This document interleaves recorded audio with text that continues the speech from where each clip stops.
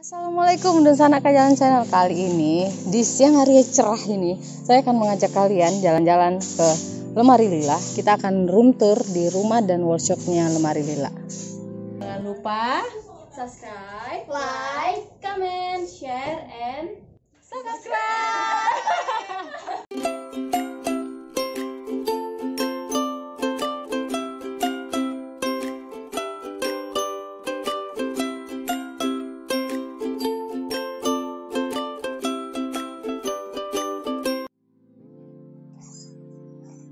Assalamualaikum. Selamat pagi. Halo Mbak Lila. Halo, Mbak Siska. Halo semuanya. Ini workshop film Marlina di sini. Oke. Aku lagi bagi-bagi baju, soalnya kan di kalau Ha-ha. dulu kan penjahit ke sini terus di QC-nya di sini, QC Mm-mm. jahitannya. Nah, apa? Kalau udah, udah di semuanya digosok, eh, diperiksa, terus nanti dibagi masuk mana yang web, mana yang Mm-mm. masuk ke gitu. Oh. Ini jadi tempat uh, base campnya ya Mbak? Ya, Mari ini workshopnya ya. Workshopnya Tapi ya. penjahitnya nggak di sini. Kalau penjahitnya di sini ada satu aja nur, nur lebih ke tim produksi lemari lila juga. Jadi yang bikin uh, sampel atau yang juga kalau di QC terus uh, nggak puas dari penjahit, biasanya kita yang benerin sendiri. Oh di sini. Ya. Tapi jahitannya malah nggak. Ah, ah, penjahitnya tuh ada di tiga sumber ya sumber yang udah jadi penjahit lemari lila. Ini uh, gudangnya ya pokoknya dapurnya lah. Ada penyimpanan baju terus di atas. Emang desain ini kan baru Januari pindah ke sini. Heeh. ini didesain untuk naruh barangnya nggak kelihatan gitu semuanya. Biar rapi ya. Ah, ah, tapi tetap pasti ada ya. Itu uh, properti untuk foto kayak sepatu segala macam lah kertas-kertas terus beberapa perca dari penjahit nggak kita buang kita simpan stok.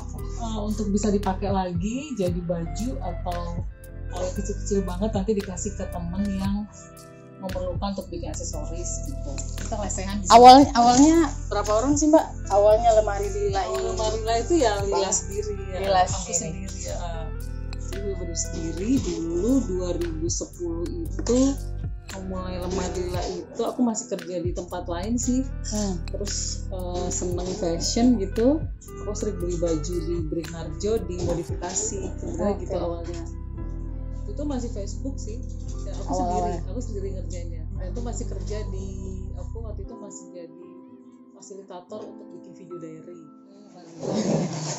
jadi sebenarnya awalnya sosmed ya Sosmed dari ya. sosmed Sangat membantu sekali oh ya. iya justru besarnya dari sosmed baru punya physical store itu Heeh. Hmm. kan ada orang yang punya toko Punya toko dulu ya. baru Baru jualan di Iya, media sosial. jadi kayak corona gini aku nggak kaget lagi dengan online jualan online karena, karena udah, udah lebih iya awalnya udah justru jualan online gitu. juga ya mbak ya jadi Hmm. kita nggak nggak nggak adaptasinya nggak lama lagi Nggak karena lama. udah biasa itu Cuma ya perkembangannya kan banyak apalagi anak yang lebih muda Hmm. anak muda yang ya nggak muda banget ya pasti yang punya usaha umur 20 tahun ke atas itu mereka lebih melek teknologi ya Hmm. sama lebih rajin kayak bikin reel yang sekarang ya ada reel lah, ada konten-konten apa. yang menarik ya ya yang aku tuh karena ini alay nggak ya gitu terus aku mau gitu tapi akhirnya harus ikut iya mau nggak mau ya mbak mau nggak mau akhirnya ya jadi ikut ikutan apa banci tampil juga sih ya emang pada dasar. Seneng gitu emang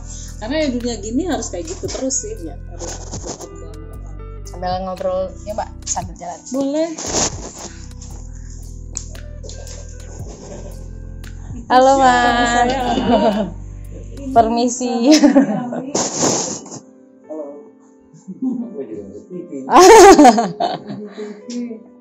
permisi ini rumahnya. rumah. Itu suka dikira rumah apa eh, Mbak Lila ketemu aja sih rumah lama direnov ya gitu. Iya, padahal tak- enggak padahal- rumah berbel tanah dibangun emang konsepnya mau dibikin eh, kayak rumah lama. Tapi makanya adem banget ya. pintu segala macam itu memang bongkaran rumah lama. Soalnya ya kayak rumah Lila aja kan konsepnya kayak pulang gitu lah. Ya aku tuh ya nggak rumah. seneng rumah-rumah baru yang modern. Itu seneng sih tinggal di situ bersih apa tapi kalau untuk rumah sendiri tiba-tiba mikirnya kok kayaknya aku lebih nyaman kayak ada apa sih sentuhan tua lawas yang aku kayak ngerasa balik ke rumah.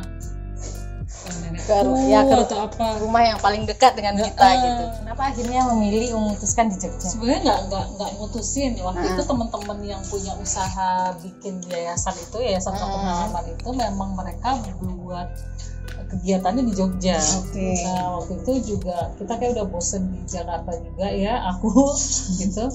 Diajak sama Dian tuh Dian Herdiani dia ngajak ke sini ngajak ke Jogja. Pas udah ke sini malah cantol nyaman. Ke contoh nyaman tuh malah ini tuh ide-ide kayak bikin lemari lilanya muncul. Tapi itu pertama kali tahun berapa sih mbak? Aku datang sini 2007 2007 satu tahun setelah gempa ya gempa Hmm. besar itu. 2007 tapi itu kan masih sibuk bikin video jadi Iya, iya, fasilitator anak-anak dan remaja. Belum memfokuskan diri ke Iya, ke si cuma dari dulu sih Iya. emang fashion tuh salah satu bidang yang selalu aku perhatikan. Hmm, oke. Itu kayak Ya, yang cerita, diamati tadi. ah, gitu. Terus Abu juga suamiku juga. Kita dulu kerja di film kan. Hmm. dia juga diajak ke sini. Ya kita malah nikah malah pacarnya udah kenal udah di Jakarta tapi di sini malah ya udah yuk malah serius Cilok ya deh, cilok. oh cilok emang ciloknya bukan kan sama sini. satu kerjaan Iya. tapi kan itu akhirnya hmm, ibuku bilang ya udah kalau betah di Jogja Jogja aja tinggalnya oke Hmm. tapi ada ini nggak sih mbak kan mbak uh, lemari Lilian ini kan sekarang fokusnya kepada kebaya-kebaya kan uh, batik-batik dan pokoknya sekarang ke Jogja bagaimana men- menggabungkan pola tradisi itu dengan modern ini.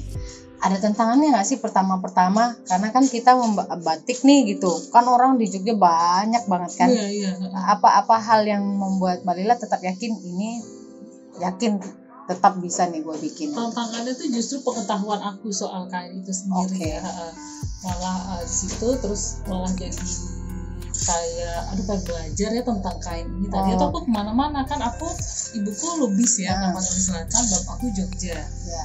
Nah, terus jadi aku memang dari rumah tuh ada percampuran dua budaya Jawa dan Batak Mm-mm. Nah malah Bataknya itu juga nggak terlalu kental karena ibuku tinggalnya Bandung dari Hmm. dulunya dari kuliah gitu. Jadi kita uh, macem-macem lah ya. Nah terus uh, apa namanya? Uh, pengennya sih waktu mulai lembaga itu pakai kainnya itu macem-macem. Aku pernah juga Hmm. coba ulos. Oke. Tapi ternyata ada cerita-cerita di balik itu kan. Yang yang yang mengikat. Ah, ah, warna Oke. hitam nggak boleh dipakai yang single contohnya. Iya, iya, iya, iya. Ah, terus motif itu hati-hati loh itu punyanya desa eh, apa bagian sana gitu. Oh iya. Tuh. Wah, Aduh, sejuk adem sekali halo. Di ruang makan, meja makannya malah jadi tempat kerja, tempat belajar. Gitu. Ini kain itu blus ya? kain NTB ya. NTB ya. NTB apa NTT ya? Aku lupa. Aku masuk ke dapurnya dulu. Ya, itu dapur ada dua dapur di belakang sama dapur ini. Oke. Aku sih nggak tipe po- tukang masak nggak bisa, tapi nggak yang Sekedarnya masak, gitu ya mbak ya. Gitu. Berarti ini dibangun baru berapa tahun? Ini dibangun 2020. 2020. 2019, Wah, 2019. dua tahun sama ini berarti ya mbak ya. 2019 terus 2020 baru nempatin. Mm-mm. Nah, kan kepotong-potong waktu itu terus ada pandemi apa ibuku Oktober 2020 meninggal Mm-mm. jadi sempat kita bolak balik bolak balik Jakarta Oke. Jogja Jakarta Jogja Baru akhirnya memutuskan ya udah di sini aja. Hmm. Sebelumnya sebelum ke sini sebelum sini aku kontraktor di mengontrak maksudnya Iya. Kalau aku ab- agak speechless tadi mendengar kontraktor ya. di 2007 ngontrak rumah pindah-pindah pindah Iya. terus pas udah serius sama Lila ibuku bilang kalau emang udah serius udah tinggal aja di Jogja gitu Langsung aja gitu ya. Oke mbak, ini ini banyak peninggalan-peninggalan kakekku. Itu dari tahun 50 mungkin ya pantesan aku berasanya Ya, kayak itu meja kerja kan aku kira ini piano atau keyboard gitu loh mbak. cuma itu kayunya udah agak retak-retak Oh, iya. jadi kita jarang buka-buka cuma aduh sayangnya mau dijual Iya juga. ini bagusnya banget mbak. Hmm, terus dulu bapakku kerja di Bank Indonesia jadi kita keliling dari kecil tuh aku per empat tahun pindah-pindah-pindah kita pernah di Bali Oh ini dari Nah, Bali. dulu tuh bikinnya ini mesen gitu loh mesen tiap bulan nyicil bayar Heeh. terus nanti yang pengukirnya tuh nulisnya di buku gitu cicilan pertama ini Makanya pas orang tua nggak ada eh, semuanya dibawa aja ke sini selampu-lampu ini. Pantesan ini berasa ada nuansa Balinya juga sama. Iya, nah kalau ini Lukisannya. kakeknya Abu. Lukisan- melukis sendiri ini diri Wow. dia, potretnya itu istrinya dan itu ibunya. Jadi buyut ini. Oke. Dan itu lukisan pertama yang bapakku beliin waktu aku SM, SD kanan. Kan zaman dulu tuh kalau satu kampung bikinnya eh, sawah gitu, kampungnya ikut. Ikut masuk ya. Berapa banyak yang Ya, dilihat sebanyak gitu sesuai. Aku seneng banget itu dia itu menarik. Ini eh, siapa sih arsitek rumah ini? Atau Mbak Lila pengen Oh, emang eh, pengen maunya ini begini-begini hasil gitu. ngobrol sama temenku eh, Mas Wawan Sempu Denau sama Lia yang istrinya. Terus kita main ke rumahnya juga rumahnya menarik gitu ya. Mhm. Jadi ya udah mutusin mereka yang bangun rumah kita ngobrol, Mbak Lia senengnya apa, Maunya kayak apa. gimana gitu ya. Aku tuh obsesi kalau punya rumah ada cerobong asap Oh, kayak iya. kartun-kartun gitu kan. Nah, terus kontur tangannya juga ke bawah gini ya, Ya. udah, eh, apa hemat biaya juga nggak harus diurut kita buat Mengikuti. ah gitu Oke.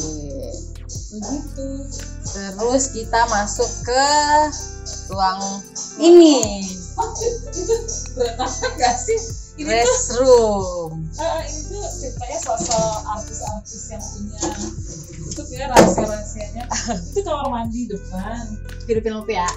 Ah, kamar mandi depan yang Wah lucu banget berarti dari kamar mandi benar-benar Ah. kita nggak harus keluar lagi kita langsung tukar bajunya di sini. Enggak, ini kamar mandi khusus tamu. Oh malah khusus tamu. Khusus tamu, tapi lemari nggak ada di baju, eh di kamar, Heeh, baju-baju semuanya di sini. sini.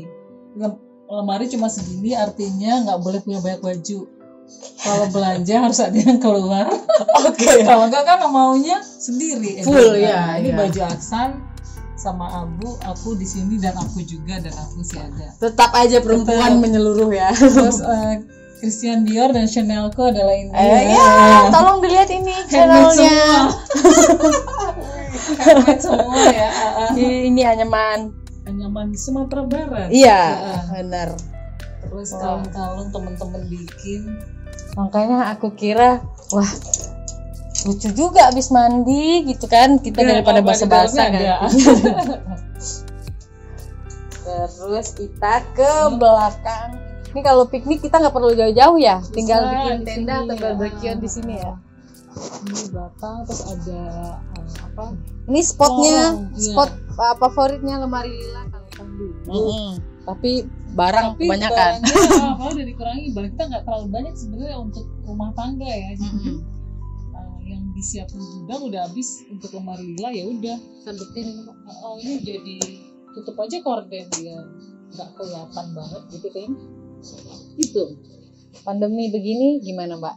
Lemari lila sekarang. pandemi pasti toko sepi karena ppkm terus awalnya apa sih namanya psbb Uh, PSBB lockdown Uh, pertama. uh, uh, uh, pertama tuh sepi em, kita bikin masker rame online yang rame tapi terus orang cuek kan pada dateng Mm-mm. rame lagi ppkm dari awal tahun ini ya Mm. itu mulai mulai turun mulai atau turun. mulai naik. turun. Oh, turun, Heeh, malah jadi yang datang ke toko tuh bisa dibilang terbatas banget. Cuma karena kita udah biasa online ya udah online. Di online uh, gimana ini? Di online pasti nggak sebagus dulu, tapi eh, alhamdulillah eh, terus gitu. Malah ketemu tuh customer-customer yang setia. Terus aku mulai terima pesanan yang eh, badannya gede, itu aku terima pesanan kalau asalkan bahannya ada. Terus eh, diskon sepanjang tahun, Ya. 10% tuh udah pasti 20 ada beberapa dan sekarang tiap Jumat ngadain toko virtual jadi Toko. aku ketemu dengan mereka langsung karena aku belajar sih itu dari Mas Didit Maulana ya kalau kita punya brand yang brandnya juga belum bukan mass product gitu eh, dengan ownernya itu itu apa deket dengan owner itu penting banget Oke, Jadi- karena dia merasa uh, punya punya pengalaman uh, apa secara langsung kan ngobrol Ah, masalah. terus jadi kayak uh, brand yang hangat itu yang selalu pasti diingat sama orang Oke. Nah, gitu. Yang hangat itu adalah cerita dia bagaimana dia ketemu ya sama customer itu deket dengan Hmm. Oke, wah, aku cita-cita sih mbak pengen rumah yang karena aku di Jawa kan baru di Jogja ini baru dua tahun kan. Hmm. Melihat lemari lila waktu itu di Instagram itu dari searching pencarian. Karena bagiku sebagai orang eh, Melayu ya baju kurung itu kan pakainya enggak harian. gitu. Eh, mungkin harian bagi orang-orang dulu, tapi bagi Hmm. anak-anak muda itu kan agak gimana gitu kan. Terus ketemu lemari lila itu menjadi tren dan aku lihat wah kayaknya menarik juga gitu. Tapi aku belum tahu mau ke Beringharjo juga cari-cari baju kebaya Hmm. tapi rasanya belum ah, belum nemu yang asik rasanya, Hmm. yang enak dipakai untuk hari-hari. Terus kemarin lihat kontes ah, challenge-nya lemari lila sama Sanggarti Lili. nanti. Enggak, Oh, ini iya, iya, kebaya. Ah, itu dari Aku pengen banget ikut, tapi aku nggak ada punya kebaya sama sekali. Aku bilang, ah, gimana nih aku pengen banget ikut tapi aku Oh, nggak ada. gimana nih? Terus aku ke Beringharjo, lihat-lihat, nanya-nanya.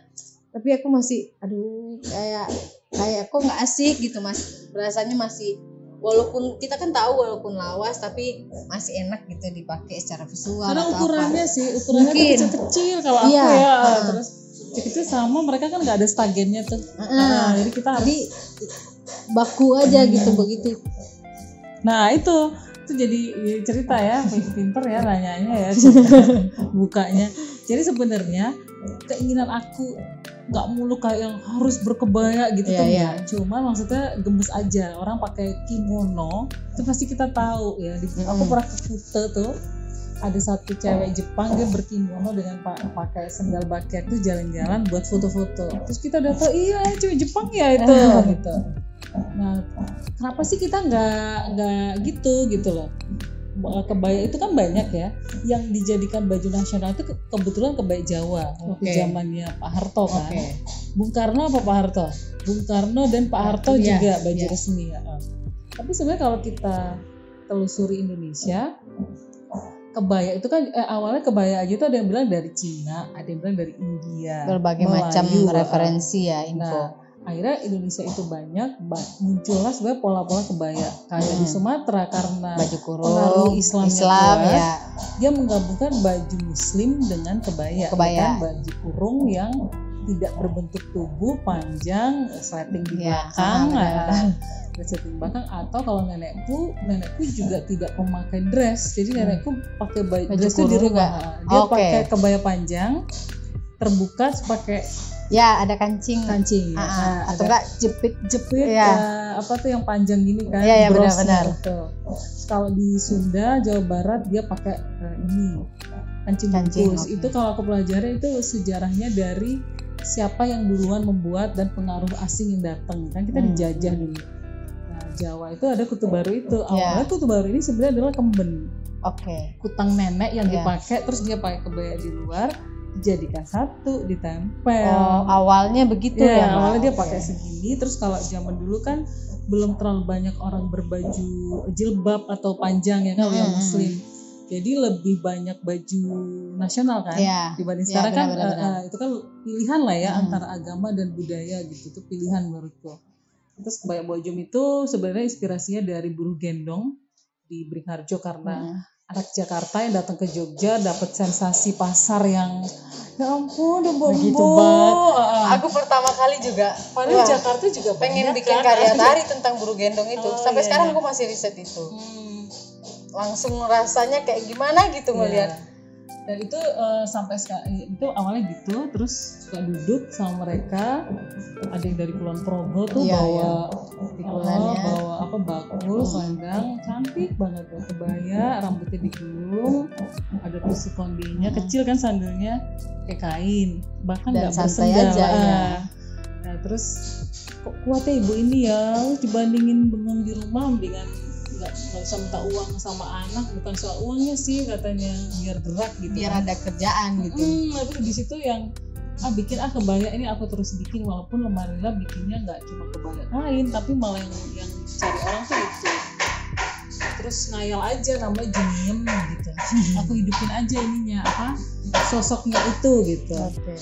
nah kalau yang pas eh, kebaya Sumatera itu namanya maknong jadinya Maknong. emak kan emak kalau orang manggil orang Sumatera juga maknong itu inong itu kan kalau bahasa Batak Batak Inong itu Ibu. ibu, Nah, ya. kalau Jadi di- campuran Sumateranya Eh, ya. kalau di eh, Aceh banyak panggilannya kan inong, Inong, iya, perempuan iya. nah, perempuan muda ya biasanya Ah, eh inong agam gitu Hmm. jadi aku mikir oh yang Sumatera juga harus di, ditonjolin tapi model kebayanya modifikasi Jawa dan Sumatera Oke. gitu jadi bermain-main aja dengan yang ada di Indonesia Tapi gitu. ini nggak pak di di sekarang ini kan anak-anak eh, anak-anak muda ya maksudnya yang milenial atau generasi apalah namanya itu sekarang apa challenge challengingnya di lemari lila untuk membuat ini menjadi disukai oleh anak-anak muda juga itu apa sih sebenarnya? challengingnya ya paling eh, kalau ke sini sih semuanya udah pakai kebaya sih malah Hmm. Malah kalau ada yang uh, back to old school gaya-gaya Hmm. gitu kebaya yang bener-bener polanya tidak modifikasi uh, pakai les uh, payet-payet Hmm, iya, gitu, iya, itu benar. malah dicari jadi bahan Oke. chiffon ini nah tadi yang tadi Siska sempat tanya di luar kendalanya apa tantangan itu karena tadi aku belajar pakem-pakem batik itu malah aku eh, punya keinginan bikin motif sendiri lahirlah ini ayam Hmm. ini yang buat eh, karena aku gambarnya jelek aku minta temen yang seniman eh, suka gambar nih Mbak Nadia Penikmah dosen Oke. isi juga dia dosen isi Dosenmu S2. ya? Dia seni ah. rupa dia. Bu Nadia yang gambar ini ayam kate terus kita jadi itu tembaga cap dicap itu sebenarnya kayak bentuk apa ya kreativitas yang gak berhenti tapi kita terhenti karena pakem-pakem batik Pakem-pakem, tadi iya, iya. So, apa ya ciri khas apa ya ayam ayam dari dulu siapa pun yang bikin ayam itu pasti nggak pernah gagal karena motif ini dekat sekali dengan orang Asia gitu ya Hmm. unggas gitu ayam. Terus aku seneng banget dengan ornamen ayam walaupun ayam beneran aku nggak suka suka banget. Ya. jadi Nggak chicken chicken Ah, banget. chicken chicken banget. Terus baru dari tokoh perempuan itu itu mewakili banget si Mbok Jung. Oke. cantik tetap tradisional memperhatikan fashion tapi dia tetap nggak lupa dia siapa. Itu sih perwakilannya Mbok Jum tuh ada Pak No ada ada anak-anaknya sekarang Margio Margina itu digambar sama Rona. Rona Oke. Narendra temanku mungkin kenal juga anak isi rumahnya di depan. Di depan sana. Jadi itu itu sebenarnya. Nah, itu malah yang jadi ciri khas. Oke. Nah, kalau udah Mbok Jum orang tahu Marlila ya? Marlila. gitu. siapanya Yu Jum Gudeg? Oh ya satu kota. Satunya Yu ini udah Mbok oh ya gitu. Kayak gitu-gitu jadi eh, sangat bermain dengan kesenangan sendiri punya Oke. usaha ini kenapa enggak gitu. Karena kita menyukai, jadi kita bahagia Ah, terus kalau balik ke anak muda tadi malah uh, beberapa kan sasaran uh, pangsa pasar yang Marila itu sasar adalah perempuan 25 sampai 45 tahun. Eh, masyarakat urban pastinya Uh, karena kalau orang kampung sendiri mungkin nggak akan kebayaan dia. Malah kita yang urban ini Iya, yang iya, iya, iya. pengen balik lagi ya masyarakat urban berdaya beli pastinya karena kita ada nilai baju yang uh, buat beberapa orang katanya mahal tapi buat aku sih enggak ya pasti di ratusan ribu ya harganya itu kan berarti punya daya beli sama pemerhati kain tradisional dan fashion gitu Ntar aku agak lompat nih sedikit Ah. ya Pak ya. Mbak Lila kan penyuka BTS nih. oh enggak oh, baru sih baru itu. ya anggaplah sedang menyukai uh, Korea ini, army-army ini. Itu kan di army kalau kita melihat mereka kan suka memakai baju-baju yang warna-warnanya terang, Hmm, cerah gitu. Kira-kira uh, warna-warna nanti dari lemari lila bakalan mau menantang ke sana juga nggak sih? Maksudnya kan uh, mungkinkah ke, bisa menarik ke sana? Misalnya kan kalau cara menggait anak-anak muda atau teman-teman muda yang lain gitu Mm-mm. akankah itu bisa di bisa dipikirkan atau sudah malah. Sudah malah ya? Sudah, oke. Sudah jadi kebay eh, kalau Madura kalau orang ngomong itu pasti eh, itu bukan itu apa orang yang ngomong ya cirinya adalah berwarna-warni. Oke. pasti. Aku pernah bikin malah, jadi kan aku memang bikinnya nggak mass nggak banyak. Di 2018 itu aku bikin kebayanya bunga-bunga sifon tapi warnanya neon. Oke. Nah, terus yang logo-logo yang kemarin koleksi teman itu nuansa pink, kuning, hijau. Oke. Itu sebenarnya bukan untuk menarik anak muda, malah justru yang pakai itu adalah usia-usia yang tua. Mereka ingin terlihat cerah. Oke. Anak muda malah senengnya monokrom. Oh iya ya. Malah mute-mute ya. Iya ya. Putih itu malah yang lebih muda, malah yang udah semakin 30 tahun ke atas. Pengen terlihat uh, Nah, udah kerut ya. terus jadi pengen warnanya terang gitu. Dan itu disasar yang orang-orang pengen tampil unik gitu ya. Nah, itu warna-warna ini sebenarnya eh, kalau Korea atau K-pop atau itu ya mereka emang ada industri yang memang kayak warnanya harus terang gitu kan. Hmm. Itu cuma pakaian panggung Iya, kan pakaian sebenarnya. Tapi kalau untuk warna itu tadi sih nggak eh, anak muda justru mengejarnya warna-warna yang monokrom Hmm. ya. Oke. Berarti kan itu uh, punya temuan baru akhirnya di lemari lila. iya Yang malah yang yang warna terang orang-orang yang uh, sudah aku tuh malah tiba-tiba pengen ah warnanya aku kan aku pribadi seneng berwarna krem ya atau Ah. nuansa tanah gitu. Oke. Nanti dicari mbak ada yang merah nggak? Itu orang itu customer Indonesia Oke. pasti. Oke. Ada yang warna merah nggak? Paduan merah sama ini sama itu mereka suka. Nah akhirnya memang ke sininya lemari lila itu udah ketemu sendiri. Pasarnya Pasti kalau udah berwarna-warni kebayanya ini pasti lemari lila nih. Oke. Gitu. Jadi kalau kadang aku pakai baju hitam-hitam itu yang lain yang kenal aku tuh suka tumben nih kok warnanya gini gitu. Gitu. Jadi apa ya? eh, itu kebentuk kadang-kadang konsepnya itu keluar dari eh, bener-bener dari si desainernya kesenangan desainer itu satu brand aku bilang kalau dia akan besar dan ba- berkembang kalau eh, dianya sendiri ciri khasnya dia kesukaannya dia tuh dia keluarin jadi contoh ada satu temenku desainer dia senengnya hitam bajunya tuh nuansanya gitu karena itu dia banget Oke. Heeh. Eh, Kak, aku nggak mungkin aku nggak suka ini kebetulan aja ini yang mau di shoot aku kayak ini karena ini kan baru promosi ya aku tuh tidak memakai warna hitam Oke. Mm-mm. Iya, makanya Pasti- tadi aku juga gak kaget. Eh, jadi eh, pasti ada nuansa warna yang aku keluarkan dan itulah yang aku buat di lila gitu menjawab nggak Menjawab, menjawab. suka cerita Jadi kita akan melihat uh, kamar-kamar. boleh Ayo.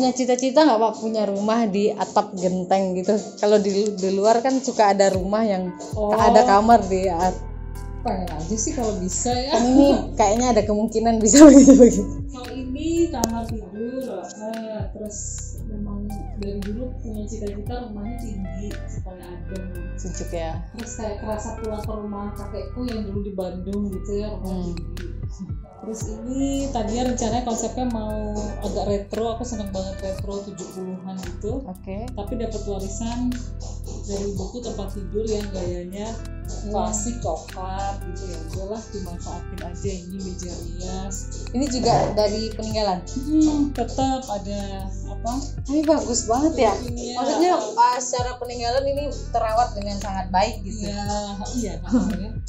Terus ini tadinya pohon jati di depan dengan berat hati harus ditebang tapi Ah. jadi ini Oke. sama tukang kayunya dibuat.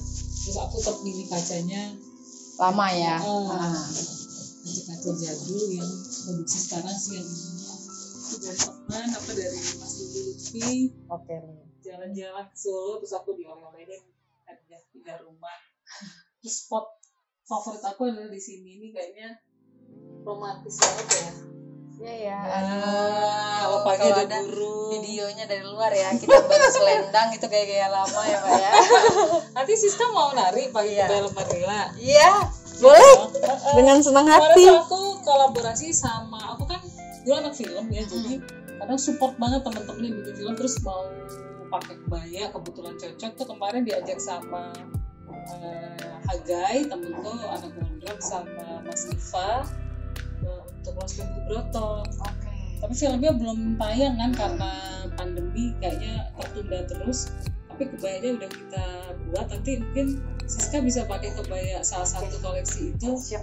dan menari di rumah Jadi Iya. aku namain dalam aksana dalam aksana. rumahnya Aksan anakku Oke. Eh, karena ini dibangun oh ya tadi itu koleksi-koleksi itu itu juga banyak ceritanya tentang pengalaman hidupku Aksan Nah, ya aku pengen oh, oh, nanya itu. iya jadi awalnya ada koleksi uh, alat mengikat terus mesra, oh mesra dulu. Mesra erat mengikat lego-legowo uh, melampah sesarengan itu empat itu ber, berhubungan. Kalau pertama tuh mesra itu uh, jadi aksan itu aku dikasih cobaan dan juga itu jadi uh, cobaan itu menjadi seperti apa ya guru buat aku dan abu uh, lewat anakku Iya, gitu iya. dia waktu itu ada uh, tumor otak gitu yang harus operasi terus dia penyembuhan difonis mau teori manusia dokter gimana balik lagi ke atas kan Iya, iya benar. Nah itu ada satu uh, kita harus mesra. Jadi aku abu kita harus mesra jalan berdua kalau enggak gimana kita mau ngadepin Iya. masalah iya, ini iya. ya.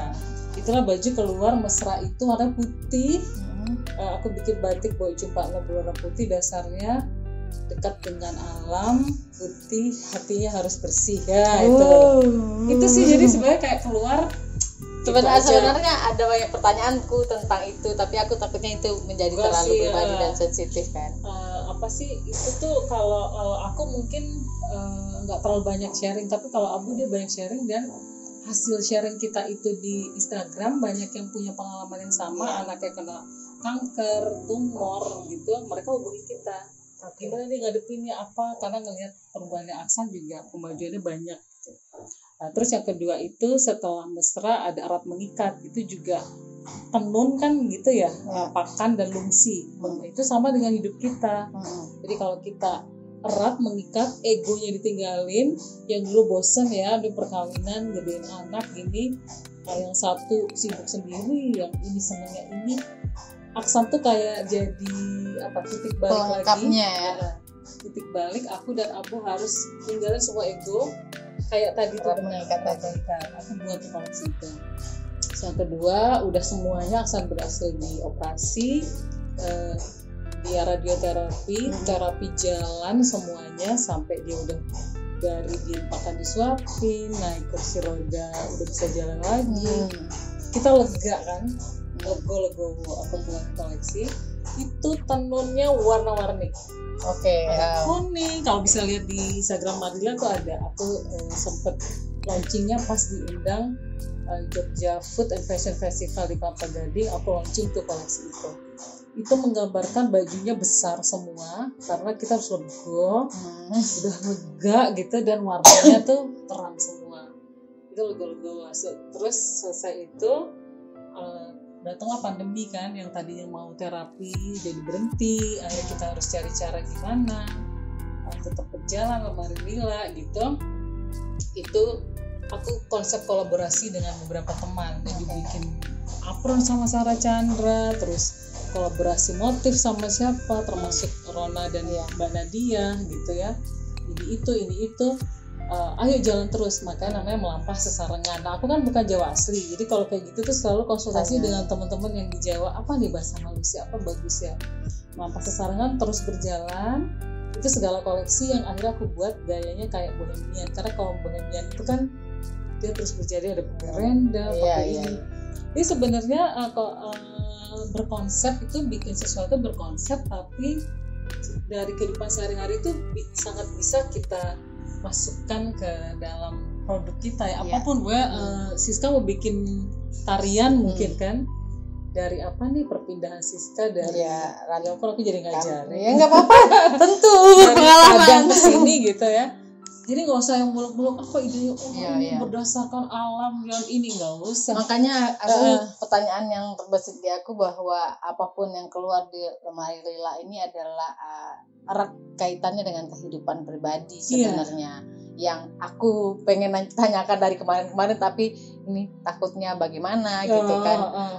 Karena aku eh, sangat sangat eh, appreciate ya maksudnya seorang ibu atau seorang pasangan yang membesarkan anaknya dalam keadaan begitu eh, rasaku itu ada orang yang menerima itu dengan penerimaan yang Hmm. ikhlas ada orang yang masih belum membuka itu gitu makanya aku pelan-pelan nanyanya takut tapi itu akhirnya menjadi inspirasi Iya. untuk semua apalagi karya kan sekarang kalau kayak eh, apa corona ya. Mm. kayak kematian itu deket kan Deket sama semua banget, orang apalagi bulan awal Juli ya kita semua temen atau keluarga Deket kita pasti ada yang banget, meninggal. Ha-ha. ya kan bisa setiap hari ya Allah ada yang meninggal lagi. Sehari Kakak iparku kali. meninggal. Kakak ibu kan meninggal. Gitu. Jadi eh, waktu difonis anak begini gitu itu sebenarnya kita takutkan kan kematian. Iya. ya kan dia ninggalin kita Hmm. gitu kan. Sama tengah-tengah itu tapi akhirnya ya udah jalanin aja gitu. Banyak yang bilang kuat ya ini. Aku juga aku mikir iya kuat juga aku ya waktu itu ya.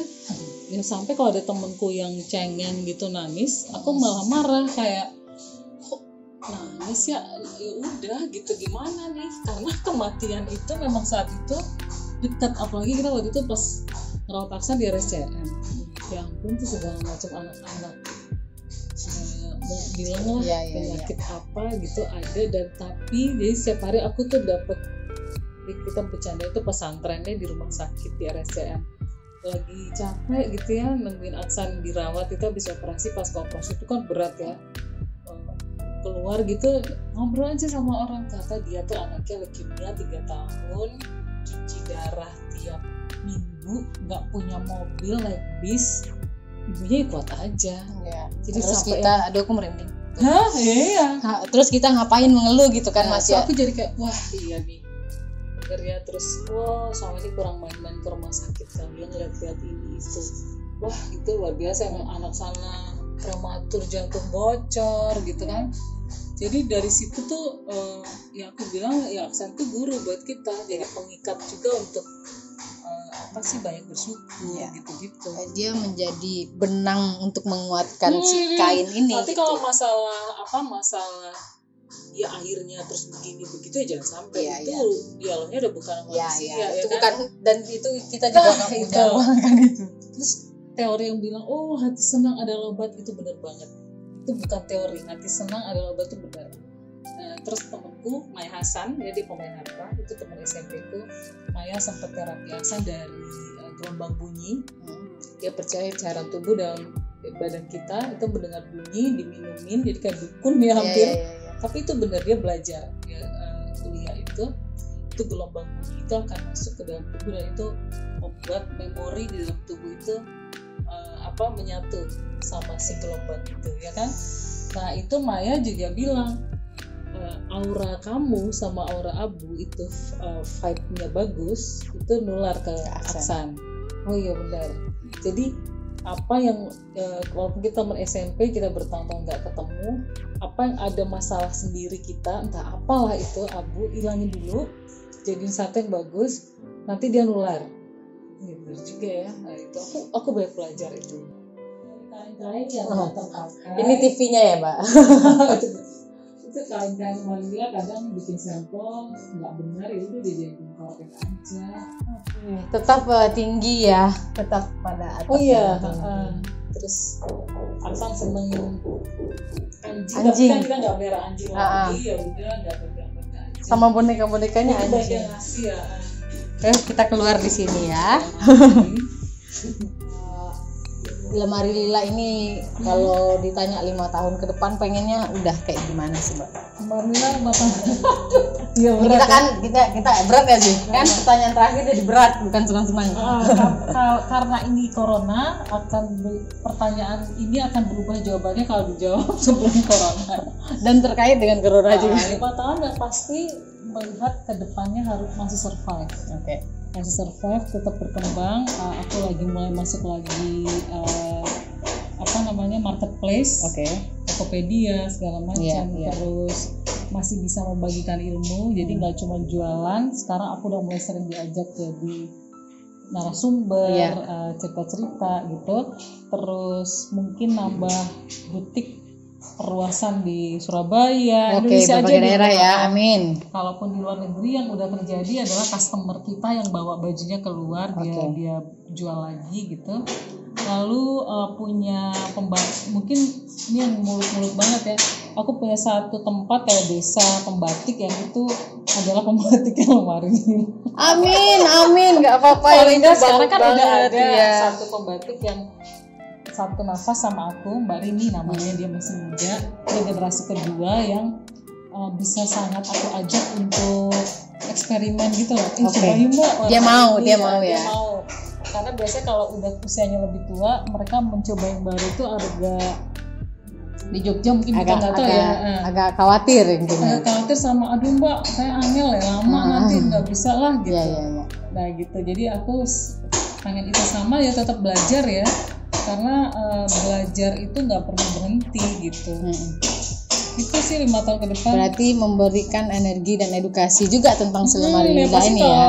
usaha pengennya nambah Tentu butik, makin tambah, ya. nambah nambah karyawan, nambah produk, eh, segala macam. Tapi ya itu tadi harus untuk sekarang tuh kata untuk bisa survive bertahan aja tuh udah bagus Iya. gitu. Itu aja Yang sih. penting nggak jatuh ya mbak ya. Mm-mm, mm-mm.